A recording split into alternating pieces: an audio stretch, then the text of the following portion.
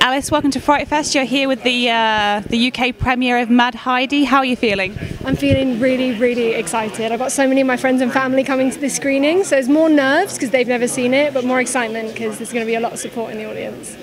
I think I'm right in saying this is your this is your feature debut, and you're the lead, and it's not your conventional film. You know, what was that experience like?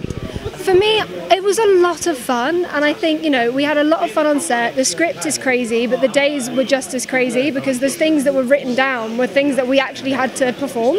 So we uh, we had a lot of fun. I mean, it's got this um, cheese agenda. You know, have you have you thought about cheese any differently since watching this film?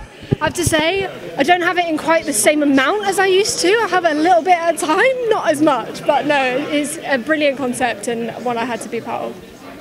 And it also sees you uh, get to share the share the screen with Casper van Casper Van Dien. What's what's he like as a, as a scene partner? Oh, he's wonderful. He's so supportive. He gave me a lot of time, uh, as did David, as did Kel, as did everyone really. But they, uh, the, David and Casper especially, gave me a lot of time to learn and uh, kind of taught me the ropes. Bearing in mind it was my first film.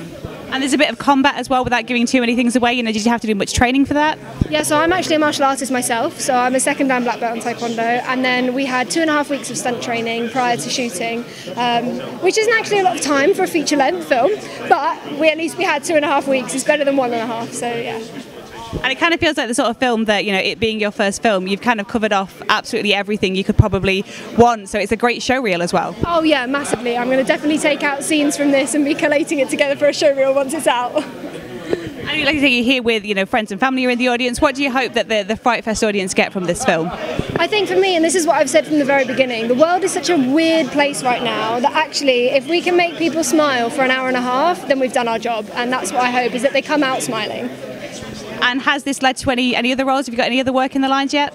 So, a couple of things I can't say at the moment, but it's been a really exciting time and I hope there's going to be more to come. Well, I will let you go and enjoy the premiere. Thank you.